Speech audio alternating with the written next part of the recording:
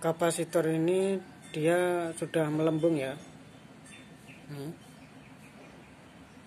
makanya dia kalau dinyalakan cuma berdengung aja nggak kuat muter kecuali dibantu. Dan panas ini di bodinya ini.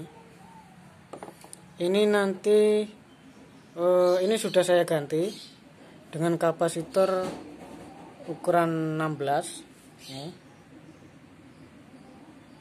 nah ini pakai otomatis ya? Pakai yang otomatis. Coba kita nyalakan.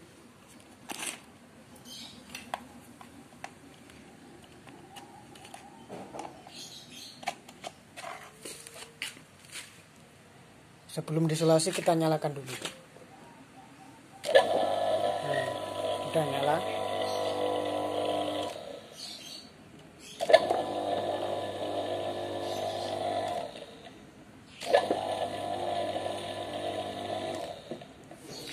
sebelum saya ganti tadi masalahnya adalah e, di sini cuma berdengung aja.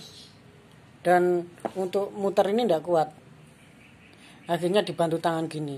Dan di sini panas sekali di bodinya. Ya karena ini masalahnya adalah melembung di kapasitornya.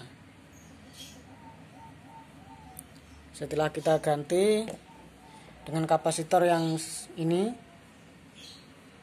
uh, ukuran berapa ini? Ukuran 16 dia bisa nyala dengan baik.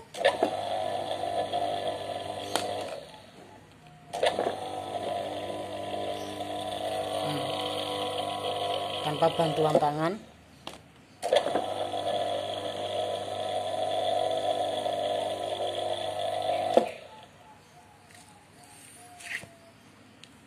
Oke itu saja uh, untuk masalah kapasitor yang sering terjadi di pompa celup 2 in ini merek Yamamak ya. Ukuran 2 in. Walaupun kapasitornya yang kita ganti itu tidak sama tidak sama persis maksud saya. Tidak masalah tapi bisa nyala. Hmm. bodinya lebih kecil. Ini lebih besar ini bawaan dari toko ya Oke, sampai ketemu di video selanjutnya.